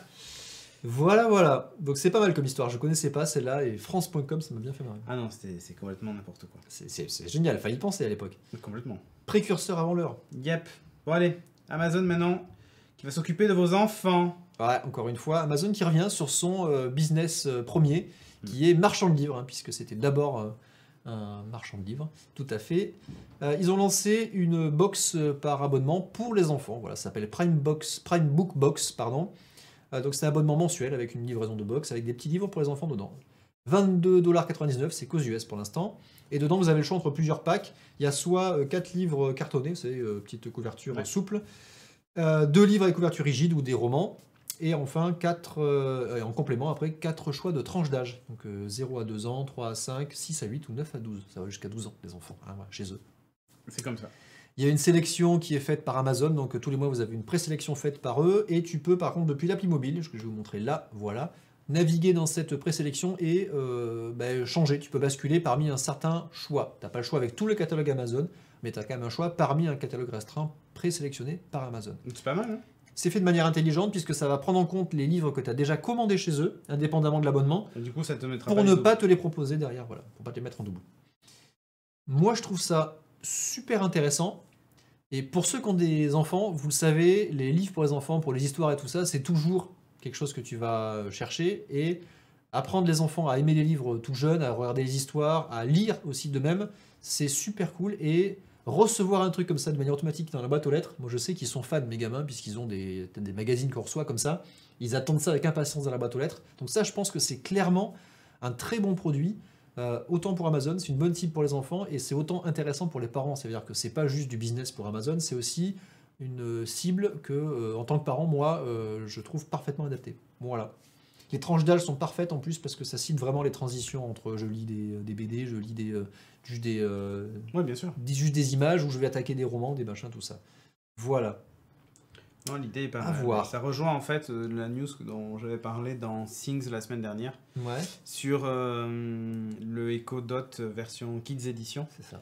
Où ils vont lancer un abonnement aussi pareil pour les enfants pour euh, des applications, des, des, de la musique euh, et ce genre de trucs dédiés aux enfants en fait. C'est le, le public en tout cas d'Amazon aujourd'hui. Ouais, ils se tournent de plus en plus vers les enfants, tout à fait. Euh, Ils l'ont fait effectivement avec ça, ils le font avec les livres, enfin, ils reviennent avec les livres. Mhm. J'attends de voir le Amazon Prime Video Kids. Et Parce ça y qu'ils est ont- déjà, le contenu vidéo. Ouais. euh, T'as une, là, t'as- jeunesse, ouais. Mais avec le Echo Dot dans la subscription, t'as un truc euh, Voilà. pour le, où t'as accès au truc. Mais j'aimerais bien avoir l'appli. Il faut savoir que le catalogue euh, d'Amazon Prime Video est quand même pas dégueu. hein. Mm. Et même pour les enfants, t'as des trucs vraiment vraiment sympas. Donc euh, oui, tout à fait. Merci le contenu. à Hades pour le follow de la chaîne. Merci, c'est la pluie des follow, des subs ce soir. C'est ça, merci à vous. Allez, dernière news de cette première partie. Yep. Alors, je vais vous parler de Internet by Google. Alors, c'est un sujet récurrent de Google, Non. euh, avec un petit hashtag Skynet, hein, parce qu'on aura tout mis comme ça. Alors, je vais vous raconter une petite histoire euh, supplémentaire qui s'est passée là-dessus euh, il y a quelques temps. Donc, j'en ai déjà parlé sur le Slack, hein, vite fait, avec les, nos amis développeurs sur le Slack de Studio Renegade. Alors, c'est l'histoire du domaine.dev, du nom de domaine.dev. Et pas Dave le chanteur. Pas Dave, hein, non, non, point .dev, comme Vanilla. DEV. Alors il faut savoir que depuis très longtemps, les noms de domaine, donc vous avez une extension à la fin, euh, les .com, les .fr, on en parlait. Et depuis euh, un certain temps, il y a un an ou deux ans, je crois, ça a été ouvert. Donc euh, maintenant, euh, les, euh, le nom de domaine, vous pouvez proposer, en tant que société, de créer une nouvelle extension. Il y en a une tripotée qui se sont créées. Et du coup, vous êtes vous-même euh, gérant de euh, tous les noms de domaine rattachés à cette extension-là. Donc c'est un GTLD, un Global Top Level Domain, du coup, donc l'extension à la fin. Et du coup, beaucoup de gens se sont euh, invités pour faire leur proposition, une soumission auprès d'organismes qui gèrent ça pour ben, pouvoir proposer des nouvelles extensions et du coup gérer eux-mêmes les noms de domaine. Google, comme plein d'autres, ont fait des propositions pour ajouter des extensions comme ça. Donc ils ont récupéré le point Google, évidemment, ils ont récupéré le point dev et le point app, notamment Très bien. pas dégueu. Voilà, donc il y a eu plein de plein d'extensions comme ça. Ce qui s'est passé dernièrement, c'est que ben, euh, la plupart des développeurs ont eu beaucoup d'applications qui, euh, ou d'environnements de test comme ça localement, qui se sont euh, globalement arrêtés de fonctionner. Et on ne savait pas pourquoi. Alors c'est pas parce que Google a posé le point dev, c'est parce qu'il s'est passé beaucoup de choses derrière. Il faut savoir que ce point dev, euh, c'est la première brique en fait de, ce qui s'est passé là. Google derrière, euh, ils poussent de plus en plus également à sécuriser Internet. Donc ça veut dire qu'ils veulent mettre en avant de plus en plus le HTTPS, donc le HTTP, le protocole HTTP version sécurisée, donc chiffrée de bout en bout entre votre navigateur et le serveur. Et pour ça, il n'y a pas 36 solutions. Ça veut dire que euh, y a des technologies pour forcer en fait le fait que quand tu ouvres un site web, avant d'aller contacter ce site web, pour demander au serveur Hé salut, euh, comment tu vas Euh, Comment je peux te parler Est-ce que je peux te parler en Mhm. sécurisé ou pas? Eh bien, il y, a une mo- il y a un moyen pour forcer dès la première connexion à dire ben, je veux forcément directement parler de manière sécurisée. Voilà. Et cette technologie-là, c'est Google également qui l'a créée et proposée en standard, donc ça a été standardisé depuis, ça s'appelle le HSTS. Ça a été proposé d'abord dans euh, Chrome, évidemment. Google l'implémente et le propose en même temps comme un standard Bizarrement. Sachant que Chrome, c'est déjà une bonne grosse part de marché des navigateurs sur le web. Donc ça, ça a été standardisé. Bon, admettons. Mais du coup, comment tu fais pour dire, bah, avant de contacter un site web, je sais qu'il faut que je lui parle de manière sécurisée? Il faut bien que tu tiennes quelque part un registre à jour des sites vers lesquels tu es euh, capable de euh, parler directement en sécurisé. Donc là, en parallèle de ça, Google maintient euh, dans, son, dans son navigateur Chrome une liste, euh, une sorte de whitelist, pour dire bah, tous ces sites-là, je veux les contacter en priorité de manière sécurisée. Et un cran plus loin, ils peuvent dire je veux contacter ces sites-là uniquement de manière sécurisée. Donc tu n'autorises pas l'utilisation du HTTP pas sécurisé. Voilà, donc cette liste, elle est maintenue par Google au sein du navigateur Chrome. Et alors c'est là où ça devient rigolo, c'est que bah, les autres navigateurs, quand ils ont décidé d'implémenter ce protocole-là, le HSTS, ils n'ont pas trouvé utile de créer un standard, ou en tout cas de créer un groupe indépendant pour gérer cette liste-là. Donc en fait, ils ont juste Merci Google. récupérer cette liste de Google et en fait ils intègrent la liste de Chrome au sein du navigateur. Ce qui veut dire qu'actuellement, il y a des décisions qui sont prises par euh, Google qui vont influer tout le web, y compris, Merci euh, Artim pour ton sub. y compris les euh, navigateurs concurrents. Deuxième pierre à l'édifice. Voilà.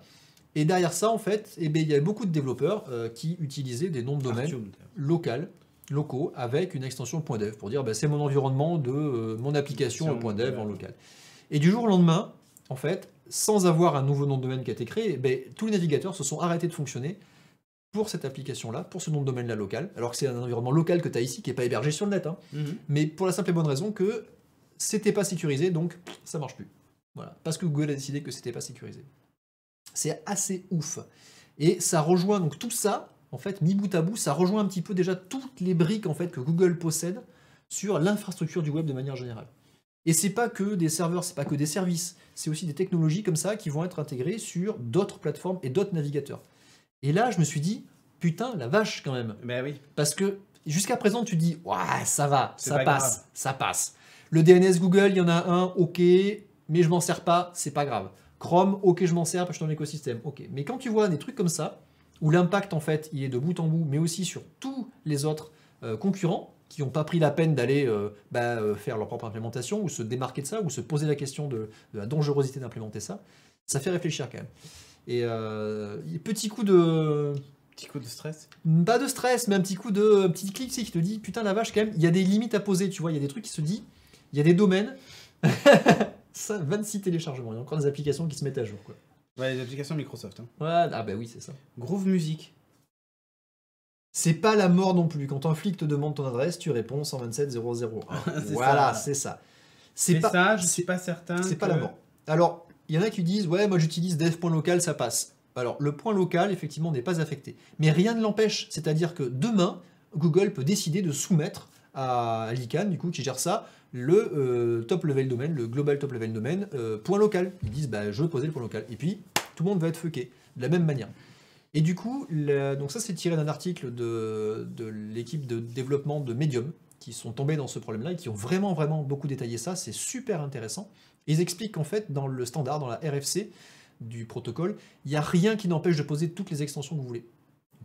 Il n'y a que deux extensions qui sont euh, totalement euh, exclues du, euh, du, du scope, c'est-à-dire qu'on ne peut pas déposer à l'extérieur. C'est les points ARPA, je crois, et les points test. Voilà. Donc si tu veux vraiment être secure, tu vas prendre un point test et ça, ça passe.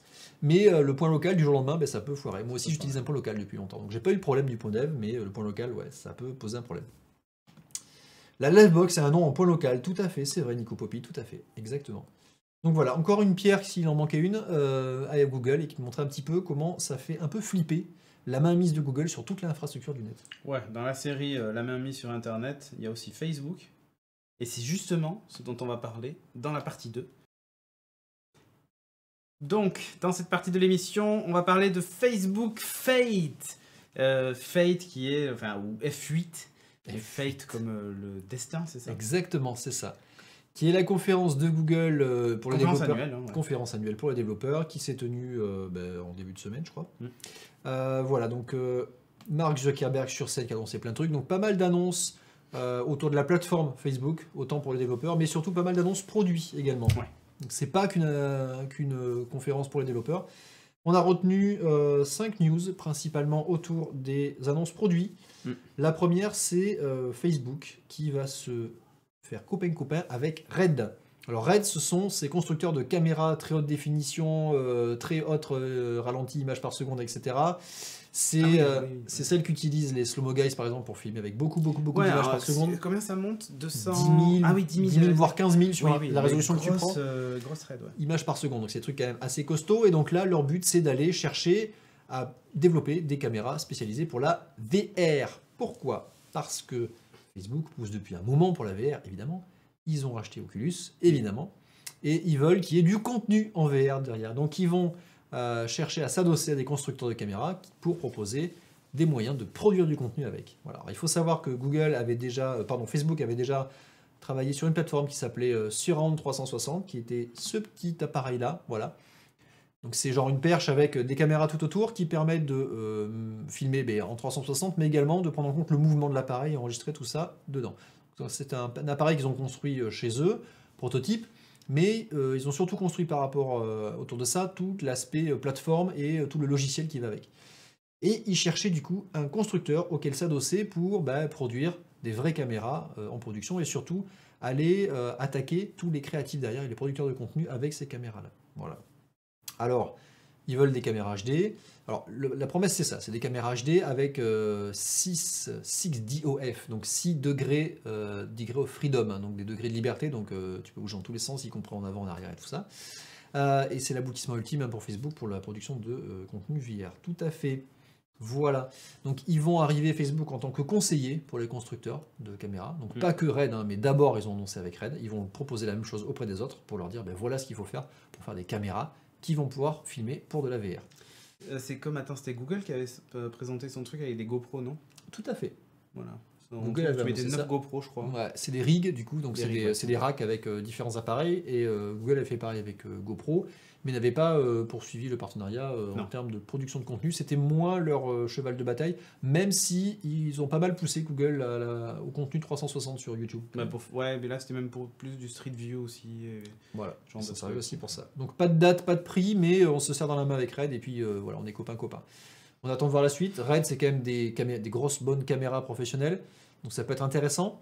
Et encore une fois, Facebook pousse à récupérer du nouveau contenu ouais. pour valoriser ces plateformes, évidemment, dont Oculus. On va en parler juste On après. en reparlera juste après. Mais avant ça, puisqu'on parlait de Red, hein, On va parler de Red.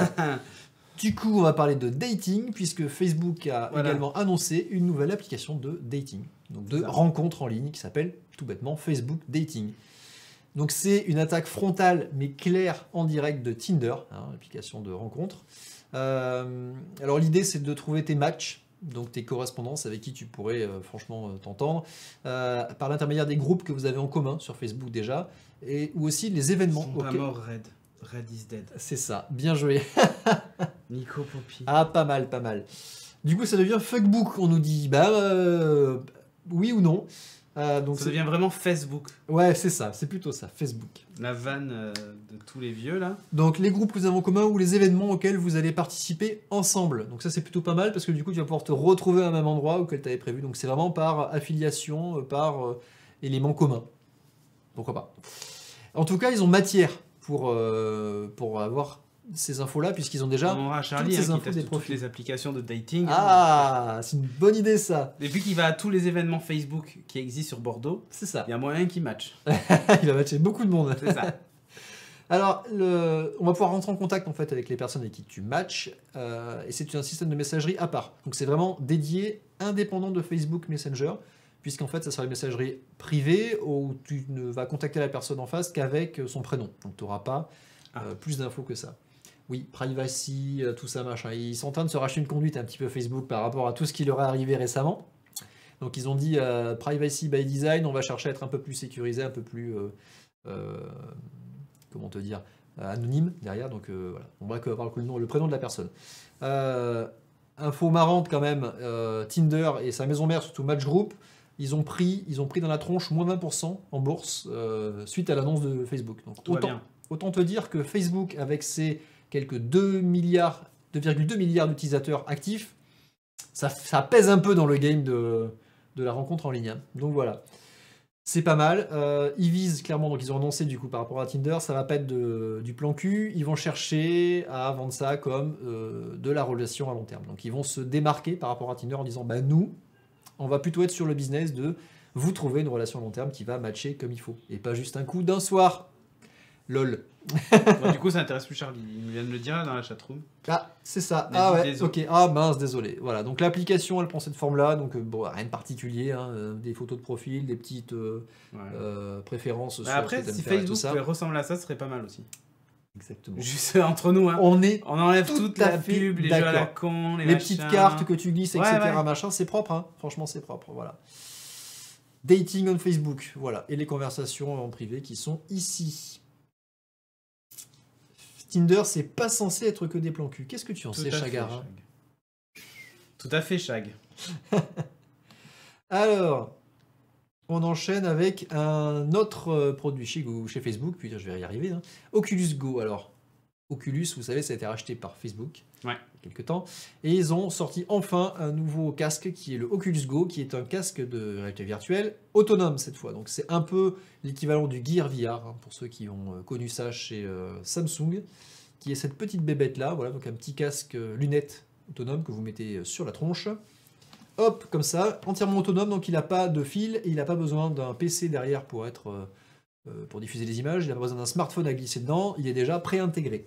Voilà, donc c'est dispo à la vente dans 23 euh, pays différents, euh, entre 199 dollars et 219 euros hein, pour euh, chez nous. Il y a deux versions, une version 32 Go, une version 64 Go.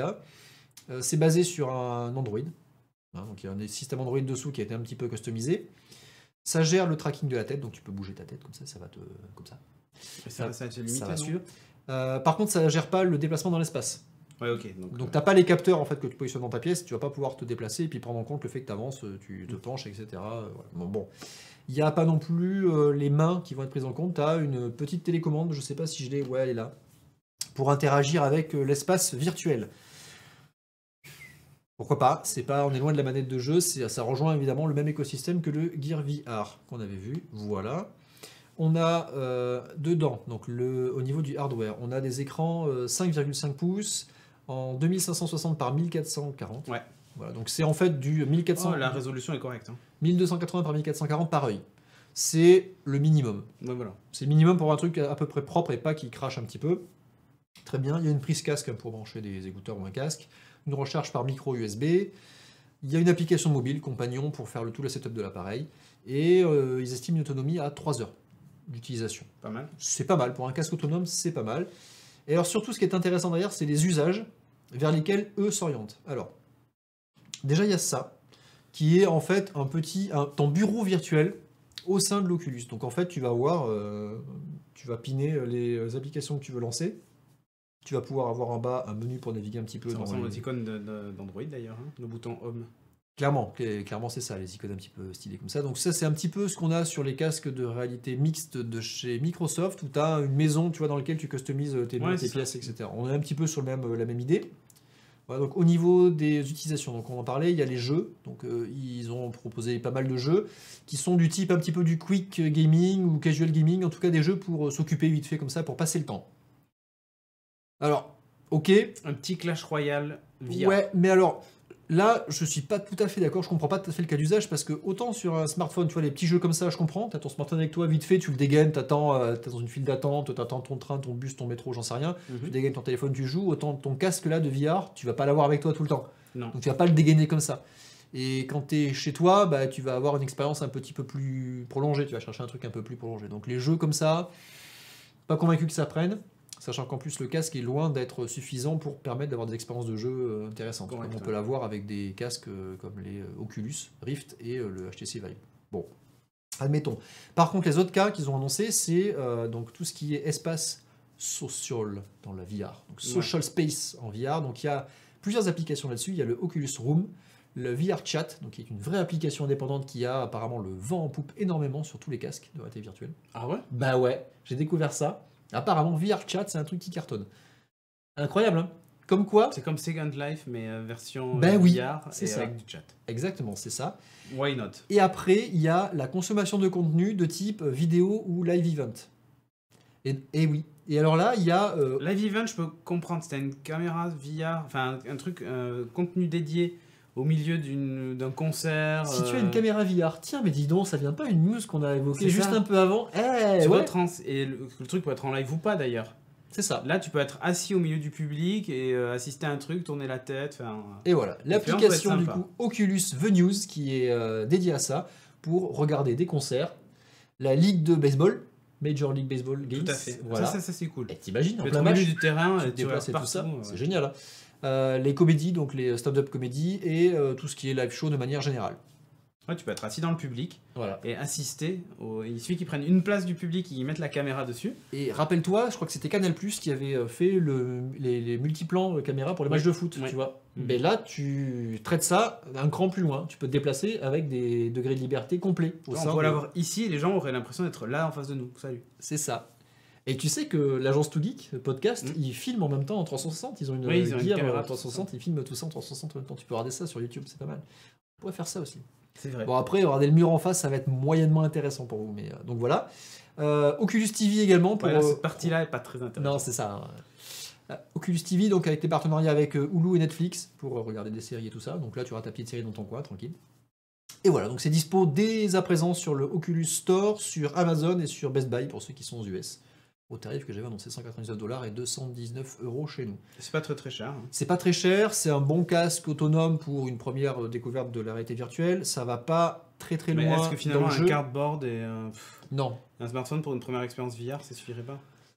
On est un cran On est dessus. un là. cran au-dessus. Ouais. On est un cran au-dessus en termes d'intégration. Le cardboard, c'est sympa, mais euh, Hmm. c'est bien pour regarder une vidéo 360. Tu n'auras pas la manette pour te déplacer dans l'espace, tu auras moins euh, de, de réactivité en termes de prise en compte du mouvement. Euh, là, ça va aller vraiment beaucoup plus loin, quand même un cran plus loin, et les- la résolution d'écran est quand même meilleure, je pense. Donc clairement, vous voyez, on s'oriente vraiment vers la consommation de contenu. hein. Facebook va chercher à produire du contenu d'un côté et à le faire consommer de l'autre.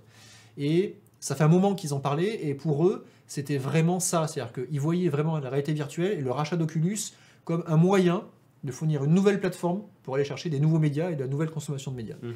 Et on y arrive. Et c'est pas juste Facebook qui pousse, c'est il y a des nouveaux usages comme VR Chat qui sont en train d'arriver et qui prennent évidemment du second life comme ça, qui prennent Moi, je vraiment. testerais bien un casque comme ça. euh, Ouais. De Mix Reality, pourquoi pas Parce qu'ils sont pas très très chers. D'attendre une bonne promo, hein, un truc où il tombe à 200 euros, Pourquoi pas. en avant. Voilà, voilà. Oculus Go. Allez Next, ça va être plus Ah vite. Le New Facebook Messenger. Ça déconne plus, hein Voilà. Alors, New Facebook Messenger, c'est quoi? C'est ça. Ouh, avec une interface euh, noire. Ouais, sombre, comme tout le monde dit. Alors, c'est surtout en fait une grosse simplification de Messenger actuel, qui était relativement bien pourri et Mhm. chargé de contenu. Euh, surtout depuis la séparation avec l'application principale de, de Facebook, c'est devenu une belle daube immonde.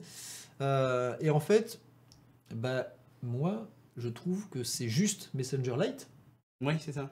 rebrandé, Rebrandé, en tant que euh, Messenger principal. C'est ça, mais ils se sont rendus compte que finalement, euh, les retours étaient plus que positifs sur Messenger Lite. Et, Mais euh, c'est ça, parce qu'en fait Messenger Lite, qui était déjà l'application Facebook Messenger allégée, ouais. avec juste le minimum pour faire de la, du messaging, fonctionnait très très bien, et ça fait une éternité que je n'ai plus que celle-là d'installer, et euh, ils ont juste décidé de faire la bascule avec leur application existante. C'est un peu ça. Mais au moins, ils se sont rendus compte que... On consomme moins de batterie, enfin, elle est vachement Ah, mieux la Messenger. Complètement. En termes de consommation, même de stockage, elle est beaucoup plus légère. Oui. L'utilisation est beaucoup plus facile, intuitive à naviguer dedans. euh, autonomie, performance, Mm. enfin, la totale. Donc voilà, c'est pas trop mal. Bon, après, ils ont aussi parlé de chiffrement, de sécurité, tout ça, machin, mais euh, sans vraiment euh, grosse révolution derrière. Le gros du sujet de ce qu'ils ont lancé, c'est les Instagram Stories. Encore une fois, du contenu produit euh, sur la plateforme de Facebook, puisqu'Instagram appartient à Facebook, pour ceux qui ne le savent pas. Et donc là, il y a pas mal d'annonces. Il y a notamment les euh, Custom AR Filters, donc les filtres en réalité, augmentée personnalisés. Donc ça, ça prend cette forme-là. Vous l'avez déjà vu, on le voit un petit peu sur les autres plateformes. On le voit surtout beaucoup sur euh, Snap, Snapchat. Ouais. Et la particularité ici, ouais, la particularité ici, c'est qu'en fait, euh, ben, ces filtres, ils vont maintenant être euh, customisables par influenceurs. Donc, des influenceurs pourront eux-mêmes proposer des filtres, euh, des textes, des stickers, euh, des... on va pouvoir envoyer des stickers de Ouais. renard. Exactement. Si tu t'abonnes à cet influenceur-là. Tu vois le truc du business, là? Tu me suis, t'as du contenu en plus, toc, toc, toc. Je vois. Et en même temps, les influenceurs pourront du coup déposer sur la plateforme de Facebook des nouveaux trucs, donc proposer de nouveaux filtres que Facebook pourra, s'il veut, ramener, récupérer pour mettre ailleurs. Bien sûr. C'est génial ça. C'est du euh, gross hacking comme il faut bien, quoi. Tu vois, ils font développer par tout le monde des debout, ils mangent la banane pareil debout. C'est juste génial. Il y a également aussi le vidéo chat, puisqu'on pourra du coup. euh, alors, ça, c'est quoi? Ouais, c'est ça. Vidéo chat, donc on va pouvoir rentrer en discussion vocale et vidéo avec un de nos contacts Non, ça, c'est directement. la story, ça. Ça, c'est la story? Ouais. Instagram. euh, Ça, c'est la story. C'est à fait. euh, là, là, je pense que tu as mélangé Ouais, l'intégration de Spotify et GoPro dans Insta. C'est pas grave. Ah non, ça c'est ça c'est GoPro, excuse-moi. Ouais. Ça c'est GoPro, c'était la suivante, donc c'est pas la vidéo chat. Mais il y a la vidéo chat également. J'ai perdu euh, mon Mac. Alors, la suite des, euh, des news là-dessus, c'est l'intégration effectivement avec des applications tierces, et on le voit ici. Vous allez pouvoir filmer directement avec GoPro et partager directement dans votre story Instagram. Et ouais, l'intégration avec les applications et l'écosystème tiers. Même chose avec Spotify. Voilà, au sein de Spotify pour pouvoir balancer pan. Et mon gars, t'as vu, je suis en train d'écouter ça. Voilà, bon, Merci Perceval pour euh, le sub à la chaîne. merci, c'est pas faux. C'est pas faux, Perceval Joe. Voilà. Euh, donc c'est euh, Facebook qui pousse beaucoup encore à alimenter Instagram, et notamment à l'utilisation des stories. Il pousse vraiment vraiment très fort. On vous rappelle que les stories, ça a été rajouté dans Instagram en copiant quand même Snapchat. Et Non. depuis, ils sont, en train ils sont en train de pousser très très fort pour ben, proposer de nouveaux euh, contenus, de nouvelles façons d'interagir avec les utilisateurs déjà présents. Et euh, ça va encore amener beaucoup plus de monde. hein. Complètement. Voilà. Même nous, on s'en sert plus. Tout à fait. C'est incroyable. en hein fait, c'est euh, Hugues là qui a fait la dernière story. Bah ouais, on n'arrête pas de faire des stories là pour des behind the scenes de Studio Renegade, c'est parfait. STD Renegade, si vous voulez nous suivre sur euh, C'est ça, Instagram. sur Insta. Hein, petite pub en passant. c'était des Renegades sans eux, si vous voulez nous suivre, si vous voulez liker la page Facebook. Parce que Facebook, ils aiment pas les renégats. C'est trop renégat, ouais, pour- on est trop des rebelles. Voilà. Et petite news en passant, qui est pas dans la conférence, mais qui est sortie au même moment. C'est le PDG de WhatsApp qui quitte Facebook. Alors, Étonnant il y a un petit clash interne a priori sur l'utilisation des données privées. Encore une fois, donc euh, même si Facebook essaie de se racheter une image, il se passe encore des trucs derrière chez eux. Euh, WhatsApp, donc, qui est l'application de messagerie instantanée euh, chiffrée de bout en bout, Ouais. qui a toujours voulu protéger ses utilisateurs et notamment les données derrière, qui était parti d'un business model où tu payais une fois un droit d'entrée et puis tu avais accès à l'application de manière totalement C'est gratuite. fini ça. C'est fini depuis un moment, mais du coup Facebook cherche à monétiser le contenu de WhatsApp, puisqu'ils l'ont racheté quand même Donc, très très cher. Et donc du coup, ils vont chercher à rajouter des pubs dedans ou à fusionner les profils WhatsApp avec ceux Facebook pour faire du ciblage et du profiling un peu plus ciblé des utilisateurs. Et donc là, a priori, le PDG de WhatsApp qui était très clairement non. contre ça, il a dit non, je suis pas d'accord avec tout ça. arrêtez ça tout de suite. Et donc je pense que ça s'est pas très bien passé et il a été euh, démissionné, puisqu'on dit comme ça, non? Oui, c'est ça. Hein? Voilà. Ils l'ont démissionné de force. Un petit peu. Donc je pense qu'il y a un petit clash interne et il est parti. Donc c'est, je sais pas si ça, si c'est bon signe, hein, franchement, pour Facebook. Clairement, je pense que non. Euh, et encore moins pour WhatsApp. Elle était encore relativement protégée en termes de d'applications chez eux pour l'instant. Mais euh, là, je Bah, pense tout que sur Telegram. hein. ouais, mais ça va être ça, tout sur Telegram, Signal. Ou Signal, oui, c'est vrai. Voilà. Mais bon, peut-être pas, on verra. C'est pas encore tout. Et tu vois, mais, euh, Facebook Messenger Lite est pas disponible de- encore sur iOS. hein. Il est que sur Android. Ah ouais? Ouais, ouais. Justement, j'ai revérifié tout Ah, à l'heure parce que j'avais voulu à l'époque le télécharger, il n'y était pas. et Je me suis dit, tiens, peut-être que maintenant il y est. Toujours pas. Ah, il est bien. Mais là, maintenant, ça va être la version, de toute façon, ça va Bah, être ça va venir la version, euh, donc euh, La version par défaut. ça sera réglé. Ah non, il est vraiment vraiment mieux. Ben, on verra. Enfin, moi, en tout cas, je t'avoue qu'en termes d'application de messagerie, j'utilise WhatsApp, Ouais. euh, Messenger, ouais, avec les potes du hand. Et Ah, ouais. c'est tout. Ben moi, Messenger et Et Google. après Discord. Google appeler ça une appli de. Ouais, de- Discord, Discord pour nous et, euh, et Google Allo, mais ça c'est plus pour la Ah famille. Ça c'est le- l'espace familial chez nous. C'est pas mal ça pour s'appeler en vidéo et tout ça. Mais comme toi, tu utiliserais iMessage et. Euh, Euh, oui, enfin non. bah non.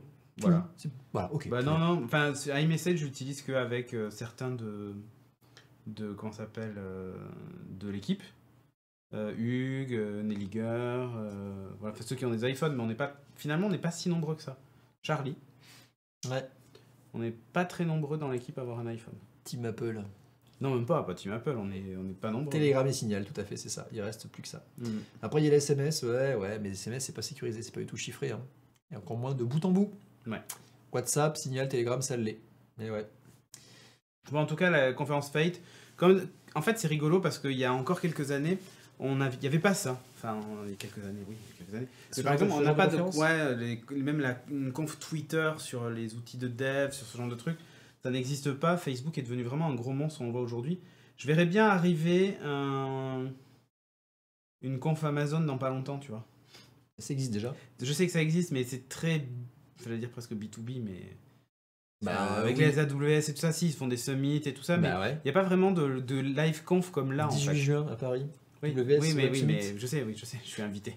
Mais mais il n'y a pas de, il y a pas de conf comme ça, euh, comme la Fate et ce genre de Il trucs. n'y a pas d'annonce produit chez ça. Amazon, mais euh, jamais. Et non, non.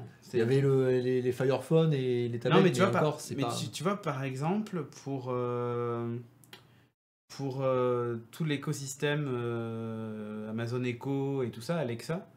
Euh, Peut-être que tu- ils ont ils ont des produits en stock, ils annoncent des produits, ils font tout un tas de choses. Mais pas sous une conférence comme ça, sous- annuelle. avec, Voilà, et, euh, et en plus pour les devs, de donner des outils ou donner des exemples d'usage et tout ça, ça pourrait être vraiment cool. Pas une conf de, de deux heures, tu vois, mais une conf d'une petite heure euh, autour de ça, de leur écosystème, de ce genre de trucs, ça peut être sympa. Je pense qu'ils le font, mais à leur façon. Ils Ouais, ne c'est le font ça. pas comme une grande messe, comme le font ces, ces sociétés-là. Ils le font plus euh, comme une Mais c'est fou que conférence. à Facebook ait fait ça en fait. Moi j'aurais jamais imaginé que. J'aurais plus imaginé un Amazon faire ça qu'un Facebook. C'est tout. Enfin, tu vois, une conf de dev, il y a quelques années de ça, j'aurais plus imaginé. Amazon, c'est euh, pas leur cœur de métier en fait. Tout Non, ça. non. Mais Facebook, ça l'était pas vraiment non plus. Au départ, on part quand même d'un réseau social. euh, C'est vrai, ils faisaient pas du produit. faisaient pas du mais produit. là, maintenant qu'ils se sont diversifiés avec pas mal de produits et qu'ils sont devenus une vraie plateforme, bah, ouais. assez étonnant. c'est vrai, c'est vrai, pas mal.